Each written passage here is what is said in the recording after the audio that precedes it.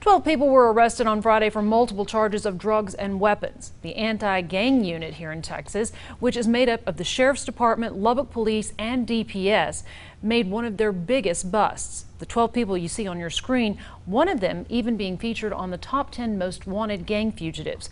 Our Emily Harrison caught up with the Sheriff's Department today about these charges. Emily, they say drugs are now, as always, a huge problem in town.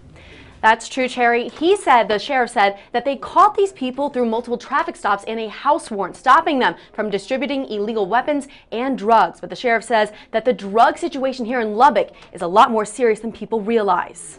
Uh, there's no question it is it has been doing nothing but intensifying. Rowe says the gangs in Lubbock are the reason why drugs are so prevalent. All of our active gangs operating in Lubbock, their primary function is the distribution of narcotics for the cartels, period. They created the Texas Anti Gang Center in order to stop both the gangs and the drugs, but say the gangs are also changing how they work to fight the Tag Center. What we've been seeing moreover in the last few years, which is the crossover of how these particular gangs operate more so together. It was all too many years ago that you didn't see those, those lines getting crossed. Sheriff Rowe says it can be difficult tracking the gangs down and that's why they wait to make arrests. Once it's announced that we've, you know, or once you see major arrests occurs and everything else, well, they start closing, you know, those, those larger organizations start closing off those uh, connections. The Tag Center hopes to make even more arrests connected to drugs and gang members. But with 1,700 gang members listed in Lubbock,